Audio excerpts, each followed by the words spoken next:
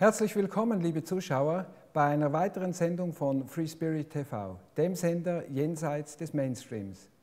Heute bei uns zu Gast Armin Risi, Philosoph, Sachbuchautor und kreatives Genie. Herzlich willkommen, Armin. Ja, danke auch. Schön, dass es klappt heute. Ja, ja ist super. So. Ich, ich habe mich wirklich gut vorbereitet und es war ganz einfach diesmal, weil eines deiner Bücher hat mich vor ja, sicher gut 20 Jahren enorm inspiriert und mir auch geholfen, meinen Standpunkt gegenüber anderen relativ gut und neutral darlegen zu können. Und hierbei handelt es sich um dieses Buch. Das war damals noch ein bisschen kleiner. Vegetarisch leben. Armin, du schreibst, vegetarisch leben ist eine Notwendigkeit. Kannst du uns das mal erklären, wie du das meinst? Ja, wir sehen ja heute, was passiert, wenn wir nicht vegetarisch leben. Was passiert? Wir sehen heute, wie, auch, wie wir auch dein Buch mit, ist ja geschrieben zusammen mit Ronald Zürer, ja. auch dem Verleger, meinem mhm. Verleger im Govinda Verlag, die verschiedenen Aspekte. Wenn wir beginnen, Tiere zumindest übermäßig zu schlachten, nicht nur einfach auf dem normalen Jagdstil, sondern übermäßig zu, äh, zu töten auf der Grundlage von Zucht, entstehen so viele Probleme, ökologische, gesundheitliche, aber nicht zuletzt auch moralische und ethische und auch psychologische. Denn wir müssen so viel ausblenden, damit wir das wirklich in diesem großen Stil tun können. Ich betone das im großen Stil, weil ich meine hier nicht, nicht, nicht die Naturvölker und die Fischervölker und so. Das ist etwas ganz anderes. Die leben in Harmonie, in Balance mit der Natur und die wissen genau, wo, wie, wann man darf und nicht darf und die respektieren das und das respektiere auch ich und respektieren sicher auch wir im großen, in der großen Wertschätzung für die Naturvölker. Aber wir reden ja von unserer Zivilisation, das fällt ins Gewicht. Und dass wir das durchziehen können, was wir heute tun, das setzt eine so große Abspaltung voraus, weil jeder weiß, was in Schlachthöfen läuft jeder, äh, jeder weiß, dass er das nicht tun könnte, was da läuft, und trotzdem lässt man das nicht nur zu, sondern man isst das, was da rauskommt. Man isst die Schlachthofprodukte. Also wenn das alles, wenn die Tiere alle durch die Tötungsmaschinerie durch sind und das Fleisch abgeschabt und alles und verarbeitet und die, Chemiz die Chemikalien und alles drin, damit es überhaupt anschaulich aussieht. Weil Fleisch von Natur aus ist eklig. Wenn man, wenn man jetzt mal nicht, nicht äh, gefärbtes Fleisch vor sich hätte, das, das würde keiner äh, essen können. Das ja, aber Fleisch, sagt man so, ist doch gesund. Ja, sagt die Fleischlobby. Ja, ist ein, ist ein, äh, ist ein Werbespruch. Der Werbespruch wurde, schwarz, wurde zwar schon korrigiert, im Sinn von Fleisch ist gesund, solange das Tier noch lebt. Ja, und dann ja, ist es gesund fürs Fleisch. Ja, ja dann, dann ist es äh, ja. Natürlich ist Fleisch gesund, aber nicht zum Essen. okay. Äh, ja. Hast du auch schon gehört, dass Menschen sagen, ich liebe Tiere über alles? Vielleicht haben sie sogar selber ein Hündchen oder eine Katze zu Hause und können das nicht in Zusammenhang bringen mit dem, was sie auf dem Teller haben. Ja, auch da ist wieder eine gewisse Abspaltung. Es ist irgendwie eine, eine gewisse Spaltung, dass man sagt, gewisse Tiere darf man essen und andere nicht. Es war jetzt gerade vor kurzem, war, hat sich einer geoutet, ich esse Hunde. Mhm. Nein, Katzen. Eins von Hunden, Hunde, ja. ich glaube Katzen. Und dann waren alle empört, oder? Ja, und waren alle empört. Wie kann der so barbarisch und so. Aber äh, das ist diese Doppelmoral. Er ist nur konsequent. Ich bin, auch, ich bin auch nicht dafür, dass man Katzen isst, aber der ist wenigstens konsequent und sagt, warum nur vegetarische Tiere? Ich esse jetzt mal ein nicht vegetarisches Tier. Das Interessante ist, die meisten Menschen essen ja vegetarische Tiere. Schafe, Ziegen, Rinder, und auch die Schweine wären von Natur aus weitgehend vegetarisch, aus wenn sie vielleicht mal in der Natur draußen sind und irgendeinen Wurm mit verschmatzen und so. Aber, äh, aber sonst wären auch Schweine vegetarisch. Also die meisten Tiere, die wir essen, sind nicht auf andere Tiere essen aus, genau. sondern auf Grünzeugs. Genau. Wäre das auch das Beste und Gesündeste vielleicht für uns Menschen? Ist ja mittlerweile durch verschiedene Studien und so nachgewiesen. Und es gibt so viele Menschen, die schon in der zweiten oder dritten Generation vegetarisch leben.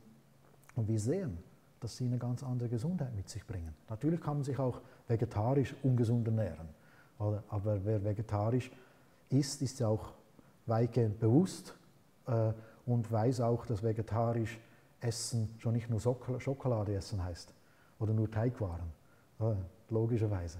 Das wäre dann auch nicht gesund. Ja, selbst bei Schokolade ist es ja heutzutage nicht mehr sicher, dass es ohne Fleisch ist. Das kommt noch dazu, ja, ja. natürlich. Kann ich davon ausgehen, dass du, seit wir uns kennen, Vegetarier bist? Ich wurde Vegetarier mit 18.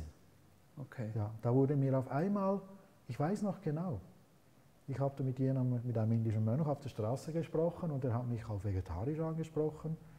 Und da wurde es mir auf einmal so bewusst, hey, was mache ich überhaupt? Was bin ich eigentlich? Ja, ich habe einfach Fleisch gegessen, mir nicht überlegt, was ich, ich wusste schon, es kommt von Tieren. Klar, logisch, das wusste ich. Aber irgendwie hat mich das nicht, äh, es hat da nicht gefunkt, was ich eigentlich tue.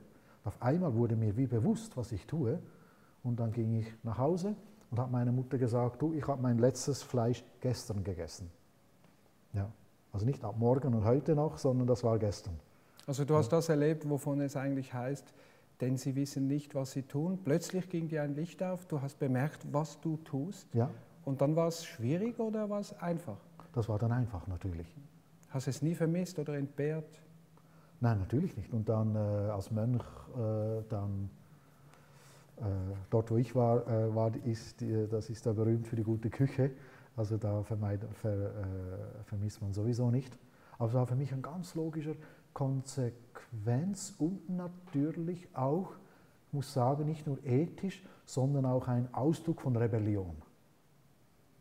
Äh, ich habe einmal gemerkt, alle, äh, all diese Leute, äh, wo ich so viel zu kritisieren habe, die haben alle ein gemeinsames Merkmal, die essen alle Fleisch.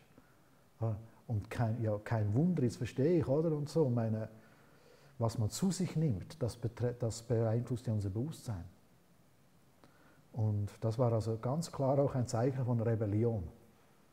Das Nein, äh, jetzt erst recht, jetzt nicht mehr. Die ist dir bestimmt gelungen, weil ich habe schon beobachtet, dass sich Menschen recht provoziert führen, auch wenn man gar nichts sagt, mhm. sondern einfach nicht mitmacht, was diese äh, gemeinsamen Rituale betrifft. Ja. Äh, hat dich das nicht auch ein bisschen äh, getrennt dann von Familie, Freunde oder wie war das bei dir? Äh, als ich Vegetarier wurde, ging es ja nicht mehr lange, bis ich die Schule sowieso verließ und ins Kloster ging. Also ich war da sowieso schon komisch und anders.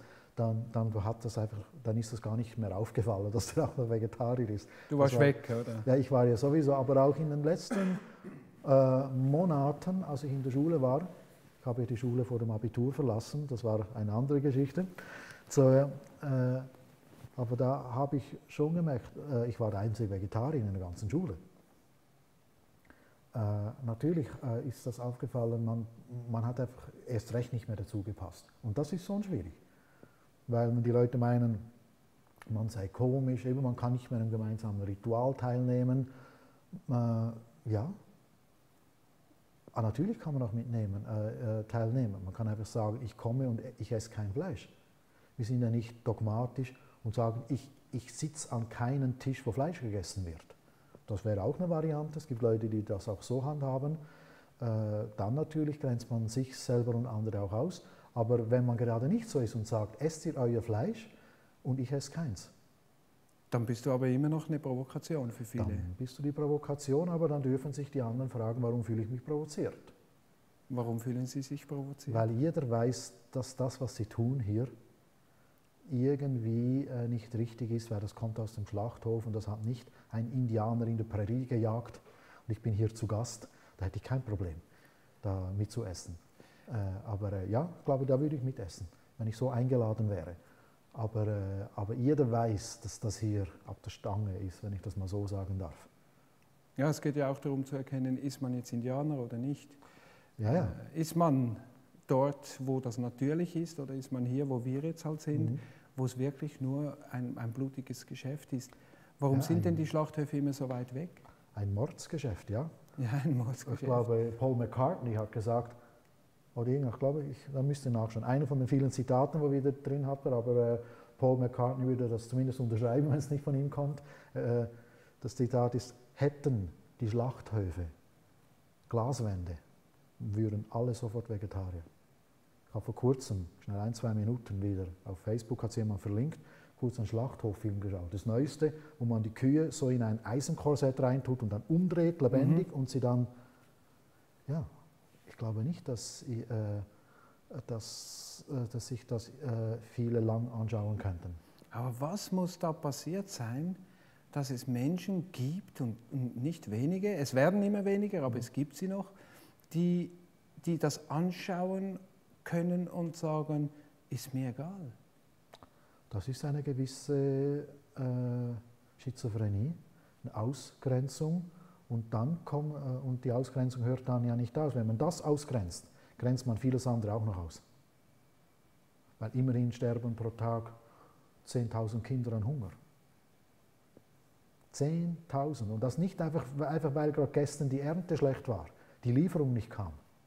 Seit 50 Jahren, schätze ich, sterben jeden Tag 10.000 bis 20.000 Kinder.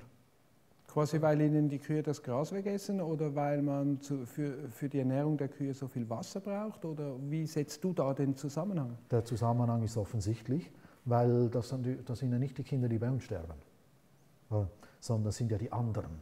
Das sind die Kinder in Afrika, in Lateinamerika, Südamerika, Asien, aber vor allem Afrika, in den, ja, dort vor allem, weil man dort schlicht und einfach in diesen Ländern den Boden verwendet für billig Futter für, unsere, für unser Schlachtvieh. Also vor 20, 30 Jahren, ich wusste damals, das war noch vor meiner Klosterzeit, da habe ich Erklärung von Bern gelesen, gibt es ja heute noch, mhm. diese ganz äh, äh, scharfe, noch schärfer als Greenpeace. Äh, Erklärung von Bern, die haben das geschrieben, dass in der Zeit, wo, dies, äh, wo es die, die, große Hungerkatastrophe in der Sahelzone gab, haben die Länder der Sahelzone Exporter, Ex, äh, Rekordexporte in Baumwolle, äh, was, äh, Erdnüsse und so irgendwie gehabt. Also da ist schon gewachsen, aber nicht fürs Volk. Die Leute sind verhungert, während dem Rekordexporte waren. Also das zeigt ja schon, was das wieder für ein, ja, äh, für ein Mordsgeschäft ist. Einfach, äh, hier sterben die Tiere, da sterben die Menschen, einfach für dieses Geschäft. Und wir blenden das aus. Wenn jetzt einer sagt, ich esse nur die Kühe aus der Nachbarschaft und die sind biologisch nach Demeter-Richtlinien und äh, mit Liebe aufgezogen worden, was, was ist damit? Das ist doch schon mal ein großer Schritt in Richtung Bewusstsein. Oh, da, da unterstützt man nicht das andere. Und ich kenne Reformhäuser, die sagen, auch Menschen, also solche, die Reformhäuser führen, sehr vegetarisch sind und, und Biofleisch führen, sie sagen, das ist das Fleisch für die Menschen mit schlechtem Gewissen. ja. ja. Das ist einfach, man weiß und so, also das ist schon mal ein Schritt in die richtige Richtung, wenn es dann wirklich so durchgezogen wird. Aber ich sehe schon, du gehst grundsätzlich davon aus, dass jeder Mensch in seiner tiefsten inneren Instanz mhm. ein schlechtes Gewissen hat, wenn seine Nahrung mit dem Tod, von Tod kommt Tod, von Leben ja, Leben. Wenn es nicht nötig ist. Oder klar, da wer, wer, da in Grönland wohnt, der muss, äh, der muss Fische jagen gehen. Das ist etwas anderes, aber das ist gar keine Ausrede für uns. Es gibt sogar ein interessantes Beispiel, wenn ein Eskimo, ich habe gehört, man darf heute wieder Eskimo sagen. Ah, schön, ich wollte ja. gerade Inuit einbringen, ja, aber passt. Weil, äh, weil Inuit ist ein Überbegriff, aber nicht, nicht, das sind nicht alle und da haben andere, die auch äh, dort leben, nicht Inuit sind, aber ein Eskimos, sagen, äh, jetzt hat man sich wieder anscheinend auf, äh, das war der neueste Stand, vielleicht hat man es unterdessen wieder geändert. Vielleicht Jedenfalls. dürfen wir irgendwann wieder Mohrenkopf sagen. ja, so, äh, das Restaurant in Zürich heißt noch so. Echt? Ja. Äh, mal schauen, wie lange noch. Ja, ja, äh, jedenfalls also die Eskimos. Ja, zurück ins Eis. Wenn die einen Fisch fangen, was ist das Erste, was sie essen? Wenn ich so frage, ist, ist es wohl nicht das viele. Das Erste, was sie essen, ist sie schlürfen den Darminhalt leer. Das ist nicht ganz appetitlich für uns, aber weil das, da sind Algen drin, das ist Grünstoff. Also, äh, und natürlich isst man den Rest dann auch, aber das zeigt einfach äh, nur schon, wie die den Fisch verwerten. Ja, das sieht man auch mhm. sonst in der Natur. Das hat mir mal ein Tierarzt gesagt. Ich hatte früher einen Hund, der hat gesagt, wenn Tiere in der Natur ein anderes Tier reißen, zum Beispiel im Winter oder wenn es keine andere Nahrung gibt, essen sie immer zuerst den Mageninhalt. Genau, ja. und nur im äußersten Notfall das Muskelfleisch. Und wir essen eigentlich normalerweise das Muskelfleisch. Weil wir werfen das andere weg, weil wir sind ja eben von Natur aus ja nicht Vegetarier. Das weiß man. Hm. Erklärung bitte. Äh, das haben wir ausführlich in diesem Buch, war rein von unserer, unserer Tötungshemmung her. Und wir essen ja kein Rohfleisch. Wir können Fleisch nur essen, wenn wir es gekocht und gebraten und abgehangt und gepökelt und zubereitet haben. Wenn wir nicht mehr sehen, dass es Fleisch ist, dann können wir es irgendwie essen. Also das zeigt schon, äh, dass wir äh, nicht sehr begabte Fleischesser sind. Wir müssen uns selber sehr täuschen. Und Als dann, Gummibärchen verpackt geht es gut. Ja, ja, da merkt man es nicht. Dann eben, so, sobald, sobald man es nicht mehr merkt, dann geht's. Und dann auch von unserem Körperbau her. Da sind wir gerade so ein Zwischending, aber ganz klar von der Darmlänge her äh, Richtung Fleischesser, äh, Richtung äh, Pflanzenesser. Aber eben der Mensch ist von, äh, natürlich ist er Allesesser. Er kann, er ist eben, als das geistige Wesen, das er ist, kann er auch Fleisch essen, weil wir einen freien Willen haben und bis in die Nährung hinein, bis in die Ernährung hinein auch die Verantwortung haben. Deswegen können wir auch Fleisch essen und fallen nicht gleich tot um. So, andere Tiere würden gleich tot umfallen. Ah. Ja, und die Frage ist natürlich, sollen wir einfach nur, weil wir können, oder gibt es eine Instanz, die uns irgendwo auch dort den Weg weist, nicht alles, was man kann, auch zu tun? Das ist eben der Punkt. Das ist die Philosophie des Machbarkeitswahns. Ist alles, was machbar ist, auch erlaubt? Das ist eine ganz grundlegende Frage. Das fängt beim Essen ein. Nur weil, nur weil wir es können, ist es gut. Äh, ist es gut, nur weil wir es können? Mhm. Das ist die Frage. Na gut, und der, der es tut, würde sagen ja und der andere nein. Das ist unsere Verantwortung. Und äh, wir sind ja keine Missionare und das wird niemand zwangsvegetarisiert. Ich beobachte, dass die Menschheit immer mehr zu Vegetariern wird. Sehe ich das durch meine Filter oder beobachten das andere auch? Ja, hierzulande, währenddem hier der Fleischkonsum ein bisschen äh, runtergeht, geht er in äh, China markant hoch. Also gesamt global gesehen nimmt er zu. Das heißt, es hat also auch zu tun mit einem gewissen Statussymbol, wer sich das leisten kann. Das heißt ja schon, dass es eigentlich, das Billigfleisch mhm. ist ja eigentlich bei uns. Und dort, wo es jetzt erst anfängt, dort gibt es wahrscheinlich ganz tolle Produkte, die sehr teuer sind, nehme ich an, oder? Ja, es wird einfach, äh, es wird ja propagiert. Die Menschen haben ja früher ohne Fleisch gut, gut gelebt und jetzt wird es propagiert. Ist das ein Teil des Planers einer Elite, die will, dass das Bewusstsein der Menschen vielleicht auch irgendwo äh, so mit dem beeinflusst wird, mit diesem Leid, mit den Endorphinen, Hormonen, Medikamenten? Äh, der Verdacht liegt nahe. das hast ja. du elegant gesagt. Ja. ja. ja. Denn wären die Menschen hellsichtig, würden Sie sehr schnell sehen, etwas vom Ersten, was man sieht, wenn man hellsichtig ist, ob jemand lügt oder nicht. Das sieht man ja in der Aura, kannst du ja mit dem äh, Muskeltext, in der Kin Kinesiologie geht das. Mhm. Äh, Lügen bedeu bedeutet, du sagst etwas anderes, als du weißt. Du sagst nicht etwas Falsches, weil du nicht besser weißt. Äh, so, also da ist ein ganz, bestimmt, ganz bestimmter Blockadevorgang drin und das, das könnte man sehen. Und wenn die Menschen hellsichtig würden, nur ein bisschen hellsichtig würden und sehen würden, wo gelogen wird, dann müssten ganze Wirtschaftszweige und die ganze Politik zusammenpacken. Die ganze Kriegsindustrie würde nicht mehr funktionieren. Die ganze, ja, die ganze Wirtschaft, alles, weil es ist alles auf Lüge aufgebaut, auf Täuschung und Lüge. Und deswegen hat das sicher damit was zu tun, das Bewusstsein der Menschen zu dämpfen. Das heißt also, die Idee, Fleisch braucht der Mensch, ist eine Lüge? Ja, natürlich. Fleisch ist gesund, ist eine Lüge. Ja, äh, der Mensch kann ja, ich brauche etwas, das heißt, ich kann, ohne, ohne, äh, ohne, ohne das könnte ich nicht leben. Es geht gewiss, ich brauche Wasser, ich brauche Nahrung, ich brauche Lebensmittel, ich brauche Kleider, ich brauche Wärme, ich brauche Sonne, ich brauche Mondlicht. Das brauche ich, aber nicht Fleisch. Ich kann es verdauen, aber es ist nicht, weil ich es brauche. So, äh, also, dass der Mensch es braucht, das stimmt sicher nicht. Also es ist eher so, dass man kann es überleben, wenn man es zu sich nimmt, aber auch da beobachten wir zum Beispiel, im Alter zeigen mhm. sich dann schon gewisse Folgen. Ja, ja, natürlich, natürlich. Ich habe immer ein bisschen Mühe mit meiner Ausdrucksweise, jemandem zu sagen, komm, lass doch das sein mit dem Fleischessen oder so. Wie, wie, wie sagst du das, wenn du, wenn, du, wenn du öffentlich sprichst oder so? Wenn du, du hast ja vielleicht auch das Ziel, ein bisschen in die Richtung zu gehen, den Leuten zu sagen, werdet bewusst, wacht auf, schaut, was sie tut. Hast du, hast du einen Trick für mich? Welchen Satz könnte man, oder für die Leute zu Hause, oder? Die Einzelvegetarier mhm. in der Großfamilie. Äh, was könnte man als Argument bringen? Ich war früher ein Vegetarier-Apostel, also ein Missionar.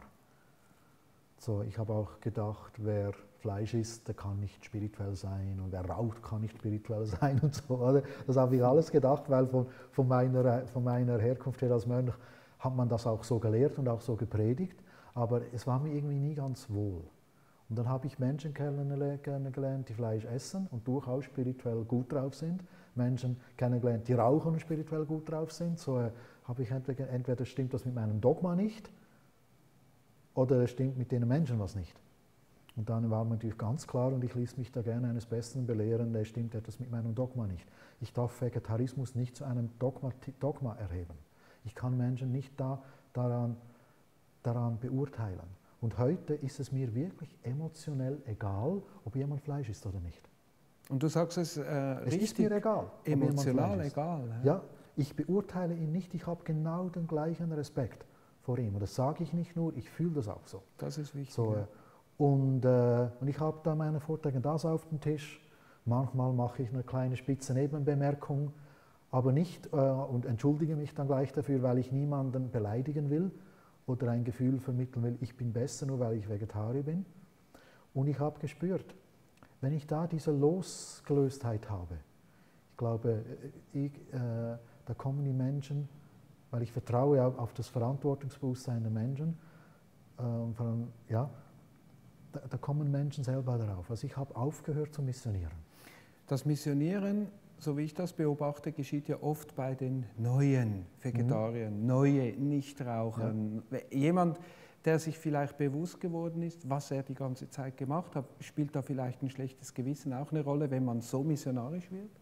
Ja, ja, es ist natürlich auch wie immer, wenn man missionarisch ist, ist ein, ein, ein gewisser Idealismus da, aber auch eine gewisse Unsicherheit und auch ein gewisses Ego, denn man will anderen beweisen, ich bin besser. Wie Religionen die heute predigen. Meine Religion ist richtig, so wie ich den Koran erkläre, so wie ich die Bibel erkläre, ist die, ist die richtige.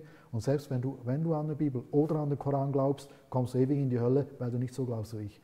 Das ist ja letztlich ein unglaublich und fast unheimlicher Ego-Trip. Genau, weil Spiritualität kann ja auch ein Ego-Trip sein. Oder, ja, Spiritualität, oder ich, hier spreche ich jetzt mal von wirklich religiöser Missionierung. Das sieht man ja heute, wenn man diesen Leuten auch zuhört. Da ist keine Liebe da, kein mhm. Respekt. Oder? Zu sagen, nur weil du den Koran, weil du die Bibel nicht so liest wie ich, kommst du ewig in die Hölle. Wie musst du da abgespalten sein von dir und vom Gegenüber, dass du das sagen kannst? Mhm. Ja. So. Äh, und ich habe ja dieses Missionarische durchgelebt und habe hab mir auch in gewisser Phase dann gewisse freche Sprüche erlaubt, wo ich mir hinterher einfach schlecht kam. Ich hatte ein schlechtes Gewissen. Mich hat diese Szene nicht losgelassen. Und zwar aus schlechtem Gewissen, das war nicht richtig. Und ich denke, heute bin ich da geheilt. Ja. ja. Und das musste dir auch keiner sagen, du hast es selber gefühlt. Ja, ich habe es selber gefühlt, ja. Und äh, deswegen habe ich auch ein gewisses dogmatisches Umfeld verlassen und kann heute da sehr locker damit umgehen. So, und, und ich sehe einfach und ich bekomme immer wieder Rückmeldungen, dass Menschen aus eigenem, aus eigenem äh, Erkennen äh, Vegetarier geworden sind und es auch bleiben. Denn man kann mit all den Argumenten hier drin Menschen wirklich in die Ecke treiben, ihnen ein schlechtes Gewissen aufzwingen. Und dann hören sie auch schlechtem Gewissen auf, weil sie wollen ja spirituell sein. Aber also, das ist natürlich nicht deine Absicht, oder? Ja, und dann, hören, und dann treffe ich sie oder dann habe ich sie zwei Jahre später getroffen, haben sie gesagt, ja weißt du, ich habe jetzt wieder angefangen Fleisch zu essen. Ich bin halt nicht so gut drauf wie du, ich bin halt nicht so spirituell. Ja? Und da macht man selber, entweder ist es ironisch gemeint oder es kommt ein tiefer Selbstvorwurf dazu. Mhm. Dann, hätte ich die, dann hätten die Menschen besser noch zwei Jahre länger Fleisch gegessen und hätten nie jetzt aufgehört. Ja. So, und so vertraue ich einfach in den, in den Rhythmus eines jeden Menschen, denn, denn das Entscheidende, wenn wir sterben, behaupte ich jetzt einfach mal, wenn man das aus den verschiedenen äh, Rückführungen und Nahtoderfahrungen hört, werden wir nicht gefragt, warst du Vegetarier? Hast du geraucht? Hast du Fleisch gegessen? Warst du Veganer oder Vegetarier? Was nur Vegetarier? Ab, ab. äh, ja, da kommen die Neuveganer. Das neue für die Veganer schon das Feindbild Vegetarier. Oder ich habe schon zum Teil ganz wütende Briefe bekommen. Warum heißt es vegetarisch? Warum nicht vegan leben? Oder? Mhm. Weil vegetarisch ist ja praktisch, kannst du kannst auch fast, fast so gut Fleisch essen. Und so. Die haben gewisse Dinge, glaube ich, nicht so verstanden. Also wir sind nicht mehr so extrem, wie ich das jetzt höre. Mhm. Und äh, du hast etwas angesprochen, und zwar dein Weg. Mhm. Dein Weg war, also eigentlich, wir reden immer von Kopfmenschen und von Herzmenschen und so weiter. Äh, mhm. Bei dir denkt man, du bist ein Kopfmensch, aber wenn man dich so hört, bist du, bist du eigentlich die optimale Mischung, Kombination zwischen Intelligenz, Verstand, Kopf und Herz. War das hart, diesen, diesen Schritt zu, zu machen? Ich weiß nicht, ob ich es bin, aber ich denke und spüre auch, das macht ein Mensch aus. Oder? Ein herzloser Kopf äh, macht den Menschen nicht aus, aber ein kopfloses Herz genauso nicht, sondern, sondern diese Ganzheit und äh, ja, jeder hat seine eigenen Fähigkeiten, aber es war natürlich ein Kampf, ein, äh, den eigenen Weg zu finden und es ist auch jetzt nicht immer einfach. Was hast du für einen Eindruck, wird dann, wenn wir mal rübergehen, vielleicht für eine Frage auf uns Menschen zukommen? Ja. Auf eine Frage reduziert, wenn wir von dem Thron Gottes kommen, dann wird eine Frage gestellt werden, nämlich, warst du glücklich? Das ist das Einzige, was Gott will. Glücklich ist nichts Billiges. Warst du wirklich glücklich? Das heißt, hast du dich selber geliebt und die anderen und Gott? Warst du mit dir in Frieden? Warst du mit den anderen in Frieden, auch mit den Bösen, auch mit denen, die Fleisch gegessen haben, auch mit denen, die nicht so gedacht, äh, gedacht und geglaubt haben wie du? Und bist du in Frieden mit Gott, auch angesichts des Bösen in der Welt? dann bist du glücklich. Bist du das wirklich? Ich könnte jetzt, wenn ich jetzt, könnte jetzt nicht so herzhaft auf allen Ebenen Ja schreien. Ich habe noch meine Baustellen. Und dann hoffe ich dann auf die Gnade, weil äh, äh, wir können unser Bestes geben, aber wir müssen nicht vollkommen sein. Aber da, ich denke, das sind die tiefen Fragen. Und was das dann für jeden Menschen konkret bedeutet, wenn er wirklich beginnt, in diese Liebe zu kommen. Der, äh, der eine Mensch äh, hat eine ganz andere und der Vegetarier ist nicht der erste Schritt. Und für einen ist das der erste Schritt. Sie werden Vegetarier noch bevor sie in die Liebe kommen. Aber es hilft dann. Wenn ich jetzt zum Beispiel sterbe, bevor ich Vegetarier geworden bin oder bevor ich den Weg meines Herzens gefunden habe, aber die Absicht, die Intention war da, zählt das auch schon? Natürlich.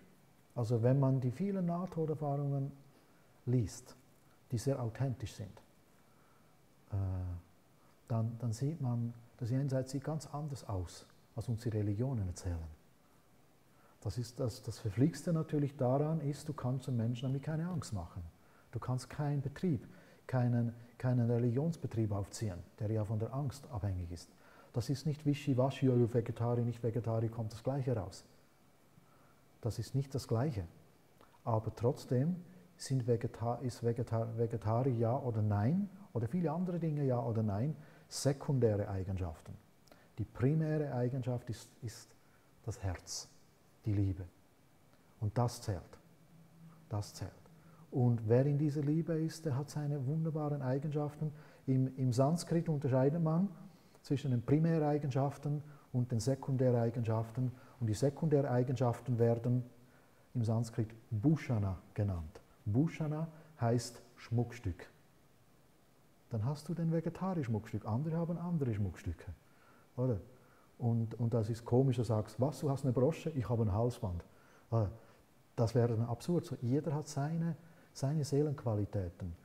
Und, und der Mensch, der in der Liebe ist, sieht diese guten Eigenschaften beim anderen und nicht suchen, äh, äh, was ist das andere. Wenn, aber das, die Primäreigenschaft ist diese Liebe. Und das, wie du, kommt, wie du ja. vorhin gesagt hast, ähm, es kann auch ein Fleischesser, ein guter Mensch sein, ein spiritueller Mensch sein. Selbstverständlich. Selbstverständlich. Das ist und, ein äh, großer Schritt gewesen, sicher. Das zu erkennen, ja, das habe ich zeitlang nicht geglaubt. Lange, also längere Zeit, zehn Jahre oder so, von den 18 Jahren habe ich das nicht wirklich geglaubt, aber dann hat mir das Leben immer wieder Menschen äh, über, über äh, den Weg geschickt. Äh, einmal sogar eine Frau, in die ich mich verliebt habe, die rauchte. Was, so, du verliebst dich in eine Frau, die raucht? Ja, ja. So. Das ist ja unglaublich. Und da muss ich dann auch ein bisschen äh, umdisponieren. so, äh, eben, äh, stimmt jetzt das Dogma oder das andere, weil ich sage die guten Eigenschaften und so weiter. Und, und äh, ja, also äh, da hat mich das Leben einfach hindurchgeführt zu unterscheiden, was ist sekundär und was ist primär. habe ich gemerkt, das steht auch in unseren heiligen Schriften. Es wird zwar nicht so gelehrt vom Betrieb, von mhm. den, Betriebs, von den Betriebswirtschaftlern. Die Geschäftsleitung. Von der Geschäftsleitung, ja, genau. So, aber eben, man kann dann wirklich mit den Menschen ganz anders umgehen und nur dann ist wirklich Friede möglich.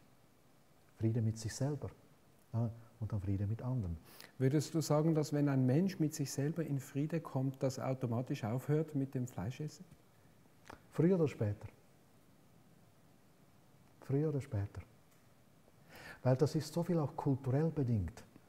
Weil ich habe auch da diese Jahre als junger Mensch Fleisch gegessen und habe nie überlegt, was ich tue. Natürlich mit einem gewissen Bewusstseinsschritt, aber bei gewissen Menschen ist das wieder anders. Aber natürlich, kollektiv werden wir in der Mehrheit äh, in, in, äh, ja, nach der Wendezeit, selbstverständlich wird das anders sein. Ich habe in deinem Buch ein Zitat gelesen, ich weiß jetzt nicht mehr genau, wie es geht, aber vielleicht, wenn ich dir einen Hinweis gebe.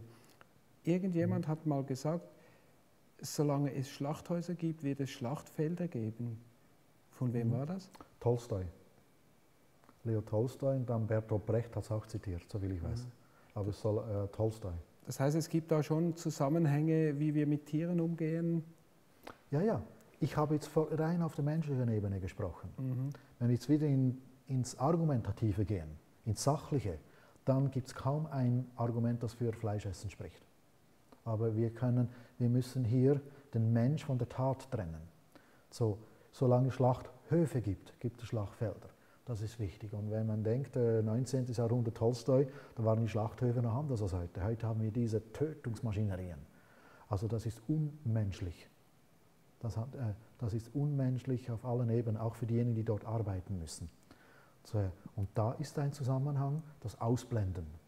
So wie wir die Tiere ausblenden, blenden wir die toten Kinder aus, denen wir, äh, die sterben, weil das Wirtschaftssystem sie sterben lässt da gibt es unseren Schweizer Autor und Politiker und UNO-Abgeordneter Jean Ziegler, der ganz klar sagt, jedes Kind, das heute stirbt an Hunger, wurde ermordet, ist ein Terroropfer.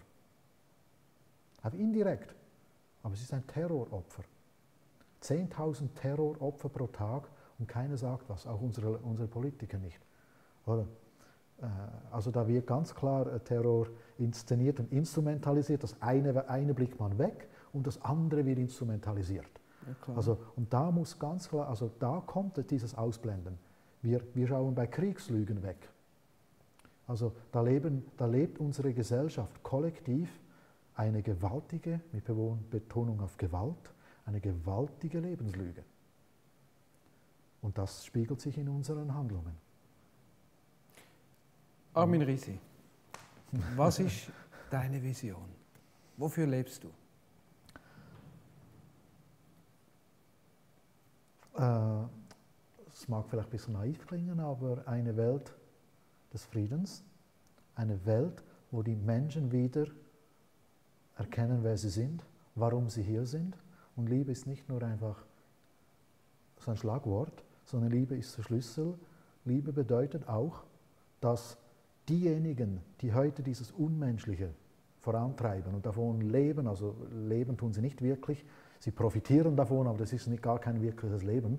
So, diejenigen, die davon profitieren und meinen, sie würden das alles brauchen, dass auch die von dem berührt werden, innehalten und einfach verstehen, bin ich wirklich glücklich mit all meinen Billionen und Billiarden und mit all den Fäden, die ich ziehe?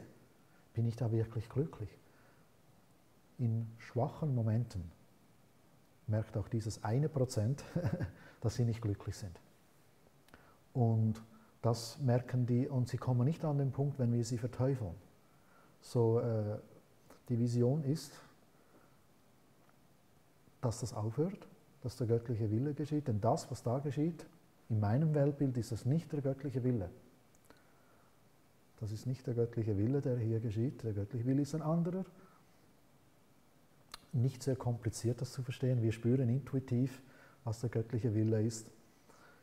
Der göttliche Wille ist, dass es in Ordnung ist, dass es nicht schief läuft.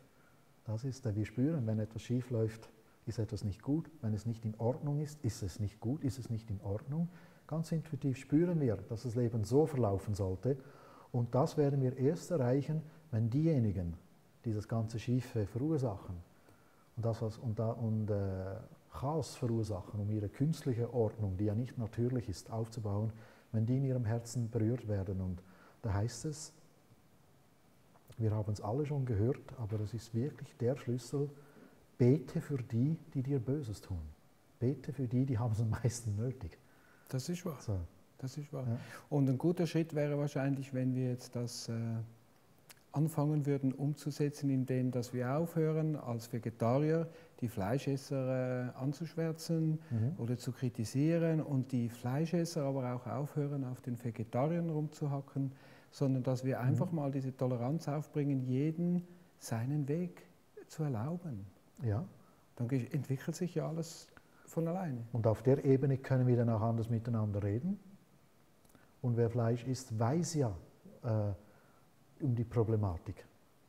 Spätestens, wenn man dieses Buch gelesen hat, weiß man. Ah, ja, also ich fand sonst. dieses Buch sehr inspirierend und überhaupt ja, ja. nicht anklagend. Überhaupt nicht. Es ist einfach nur eine Information und das, was man dann daraus macht. Vielleicht ist es nicht die Priorität. Ich habe in meinem Leben auch vegan, oder? Ich weiß, irgendwann kommt der Schritt, aber es ist jetzt für mich nicht die Priorität. Gewisse Dinge äh, ist jetzt nicht die Priorität. So, und äh, so, so, ist für andere Menschen der Schritt ins Vegetarische noch nicht eine Priorität, aber irgendeinmal ehrlich wäre es, wenn man wüsste, irgendeinmal kommt auch dieser Schritt. Das wäre vom Fleischesser schon ehrlich. Und wir können den ermutigen, indem wir es einfach vorleben und diese Menschen genauso respektieren. Sagt, äh, äh, Genauso wie, äh, wie Gott dich liebt, egal ob du Fleisch isst oder nicht, ist es bei mir genauso. Es ist, es, äh,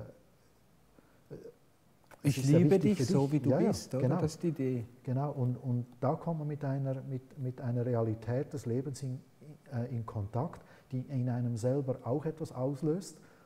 Und ohne das, ohne das äh, besteht ja äh, kommen die anderen Schritte gar nicht wirklich. Also da sind wir wieder bei dieser Essenz, bei dieser primären Eigenschaft und die führt dann zu diesen all vielen wunderschönen Schmuckstücken, die der Mensch potenziell schon in sich trägt. Ja. Also lassen wir uns berühren und der Rest geschieht automatisch. Mhm. Automatisch oder von selbst. Wie von ja, selbst. Ja. Fast wie von selbst. Ja, genau. Armin, du hast sicher schon viele Interviews gegeben in deinem Leben und da habe ich mir überlegt, gibt es eine Frage, die du gerne mal gestellt haben möchtest und dir nie einer stellt? Oh.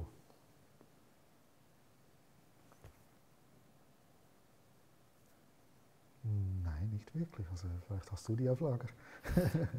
ich wüsste jetzt auch keine, aber vielleicht äh, gibt es irgendetwas, was du gerne sagen möchtest, wonach dich einfach noch keiner gefragt hat. Einfach etwas vielleicht ja, ich, ich, flechte das, was mir wichtig ist, flechte ich immer so ein, als ah, okay. nicht gefragt wird. Super. So, das so, heißt, du hast alles gesagt. Wir können zum Schluss ja. von diesem Gespräch kommen. Ja. Das ist toll. Dann sind wir nämlich gut in der Zeit. Aber wir wären nicht Free Spirit TV, wenn ich nicht noch ein paar Dinge vorbereitet hätte. Ah. Nicht ganz so dramatisch, ja. aber ich hätte gerne deinen Rat und jetzt mal losgelöst von, von, der, von der Ernährung, sondern einfach mhm. allgemein gesehen, Dein Rat an jugendliche Menschen heute, was würdest du jungen Menschen für einen Ratschlag mit aufs Leben geben? Ich war als Junge ja sehr radikal und sehr konsequent. So, das Wichtige ist wirklich, dass man als junger Mensch erkennt, was möchte ich wirklich tun, was würde mir Freude machen. Dass man das einfach mal weiß, was würde ich gerne tun. Ob man es dann im Beruf umsetzen kann, ist eine andere Frage, aber man kann ja das, was einem Freude tut, auch unabhängig vom Beruf tun oder äh, sich so äh, einrichten, dass es in den Beruf einfließt. Aber Freude macht ja das, was mit der eigenen Berufung zu tun hat. Und gerade als junger Mensch ist, ist man ja sehr idealistisch. Als 18-Jähriger glaubt man, man, man, kann die Welt verändern. Kann man da, sie nicht? Ja, ja, man wird ein bisschen ernüchtert. Es geht nicht so schnell und nicht so einfach, wie man, weit, wie man meint, aber dieser Enthusiasmus ist da. Und man kann, diesen, man kann an diesem Enthusiasmus festhalten. Ich äh, würde das jetzt von mir behaupten, habe das. Ich habe mir dieses Feuer bewahrt, äh, diesen Idealismus bewahrt und dass man da wirklich sich selber treu bleibt. Was würdest du älteren Leuten raten? Älteren Menschen, dass sie, von ihrem, dass sie ihren Reichtum erkennen. Und ihr Reichtum ist vor allem, dass sie Zeit haben. Dass sie sich diese Zeit nicht nehmen lassen. Es ist ja heute für, äh, für gewisse Menschen schon fast eine Beleidigung, wenn du einem sagst, du hast ja Zeit. Da ist man ja beleidigt, was ich und Zeit, das ist, was ja, das heißt, ich, ich bin, nicht, ich bin unnützlich. Ja, ja, oder? genau, aber man hat doch Zeit ja, als älterer Mensch. Und dann könnte man sich diese Zeit verwenden und das, worüber wir auch gesprochen haben, in, im Kollektiven. Da kann man als, je älter man wird, umso klarer müsste der Geist werden umso freier, sage ich mal, umso freier müsste der Spirit werden, oder? Weil man hat nicht mehr so viel. Finde ich eine gute Formulierung ja. eigentlich. Free Spirit. Ja, genau, das äh, war die Andeutung. Ja. Aber äh, das war, äh, das, weil man hat nicht mehr so viele Sorgen. Bist man, du ein Freigeist? Ein Freigeist? Fühlst ja. du dich als freier Geist? Ja. Ist das mhm. schön? Ja, ich fühle mich auch frei und ich, ich habe jetzt, äh, wenn ich da wieder an die jungen Menschen denke, ich hatte wirklich das Glück, dass ich meine Berufung auch zu meinem Beruf machen konnte. Aber auch nicht sofort. Ich ging auch zuerst in die Schule, 18 Jahre Kloster, aber schon dort in der Schule, äh, wo ich die Berufung lebte, konnte ich das auch immer mehr in meine Berufung äh, kanalisi oder, ja, äh, kanalisieren oder einfach hat sich gezeigt, äh, wie ich mit meiner, Be Berufung auch den Beruf machen kann. Kann vielleicht nicht jeder direkt, aber trotzdem kann man kann man an der Berufung bleiben und auch ältere Menschen haben eine, eine große Berufung. Und das, was ich vorhin gesagt habe, eben fürs Kollektiv, bete für diese Menschen, dass man da ins, ins eigene Licht kommt und als alter Mensch, älterer und alter Mensch, kann man wirklich das eigene Licht immer reiner in die Welt strahlen lassen. Und das ist dann unscheinbar, aber wunderbar. Ja. Sehr schön. Armin, ich habe wieder ein paar Sätze vorbereitet, die du einfach so spontan vollenden kannst. Mhm. Oh. Äh, so kurz mhm. und knapp wie möglich. Mhm. Einfach mit, was dir gerade in den Sinn kommt. Ja. Ready? Ja. Ich bin.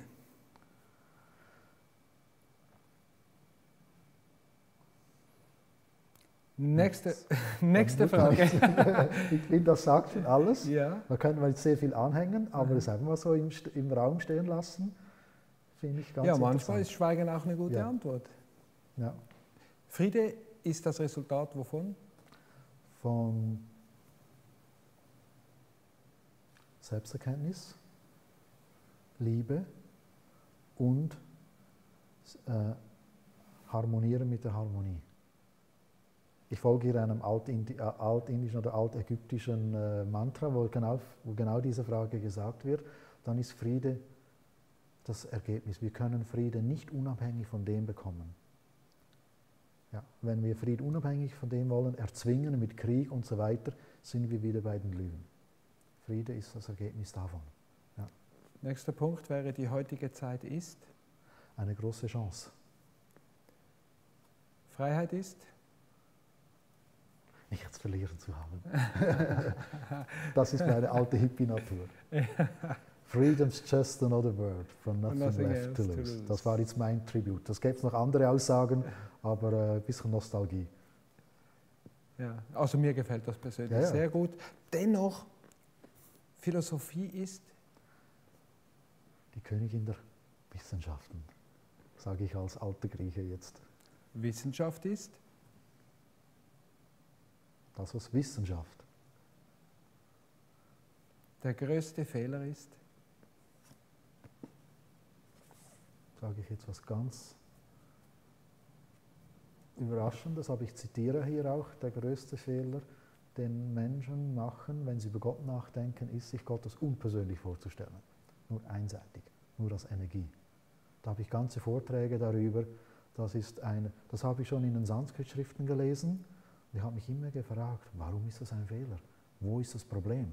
Ich glaube, heute habe ich es erkannt im Laufe der Jahre und habe ganze Bücher dazu geschrieben. Mehr möchte ich dazu auch nicht sagen, weil das wäre ein Thema für sich. Aber das einfach mal so im Raum stehen zu lassen. Das ist schon relativ gemein, äh, mich so äh, lustig zu machen, wie wir Schweizer sagen, ja. und dann einfach abbrechen zu wollen. Mhm. Gib mir wenigstens einen Tipp. Welches Buch könnte ich dazu lesen?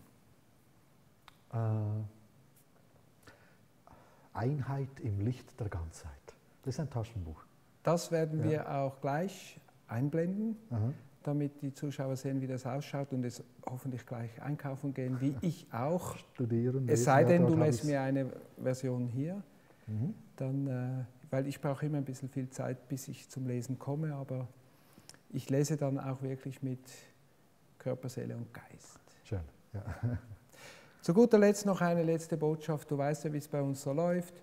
Was wäre, wenn du könntest? Einmalige Botschaft an die Welt was würdest du, welche Worte würdest du der Menschheit zukommen lassen wollen?